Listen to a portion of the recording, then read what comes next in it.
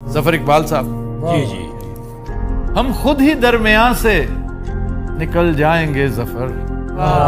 हम खुद ही दरमियान से निकल निकल जाएँगे ज़फ़र। थोड़ा सा उसको राह पे लाने की देर है।